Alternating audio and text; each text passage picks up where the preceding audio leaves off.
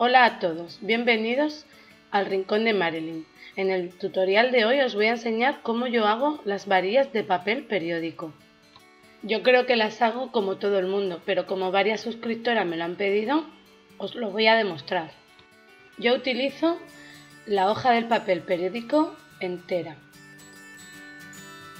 Para enrollar las varillas lo que yo utilizo es una aguja de punto o de molde, no sé cómo lo llamáis en cada país, y la mía es del número 3.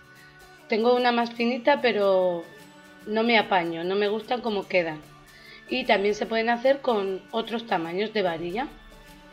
Para pegarlas, cuando hemos hecho la varilla, para que no se deshagan, utilizo pegamento de barra, me resulta más práctico. Yo el papel lo corto de esta forma.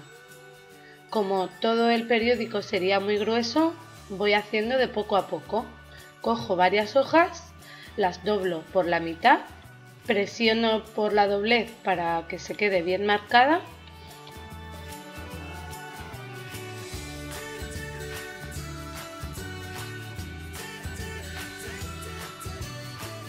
y una vez marcada la doblez lo que hago es rasgar. No utilizo tijeras.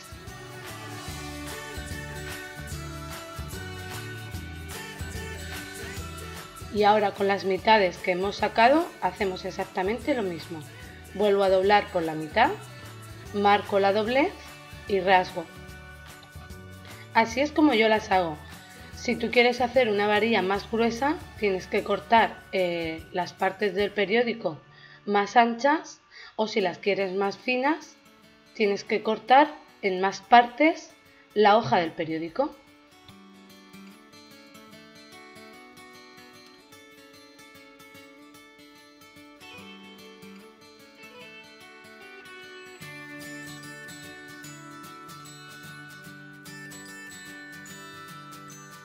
Una vez tenemos una buena cantidad de trozos de periódico cortado, vamos a hacer las varillas. Yo cojo una hoja, me la acomodo a mi forma de, de hacerlas y ponemos la varilla en la esquinita de la punta de la hoja. Como si formáramos un triángulo, pero no un triángulo de 90 grados como es el que hay aquí o de 45 sino más pequeño, como de unos 30 grados o así aproximadamente.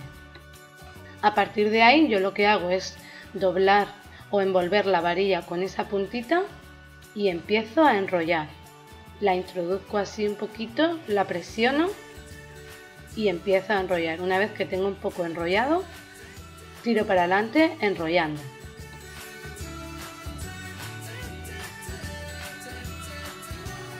Procuro que la hoja esté bien extendida para que no se me arrugue ni se me doble el perfil y no me salga bien el tubito. Cuando tengo ya una buena cantidad enrollada, lo que hago es poner en alto el, el tubito que estamos haciendo y con la otra mano vamos. Con una mano vamos sujetando el papel que está sin enrollar y con la otra vamos enrollando la varilla. Con el pegamento de barra untaré la puntita del papel y seguiré enrollando para que quede bien pegada.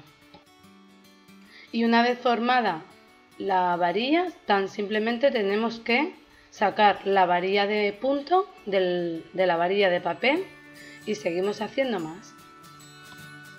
Estas varillas son muy fáciles hacerlas, solamente que al principio igual te cuesta un poquito hasta que le cojas tu forma o tu manera de hacerlo y después saldrán ellas solas. Normalmente la gente las usa para hacer cestería, yo las utilizo para decorar algunas cosas.